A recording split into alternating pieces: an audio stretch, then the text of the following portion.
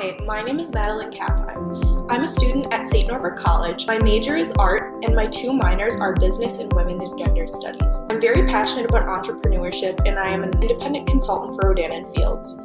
My future plans are to connect entrepreneurship with my passion for art and open a business.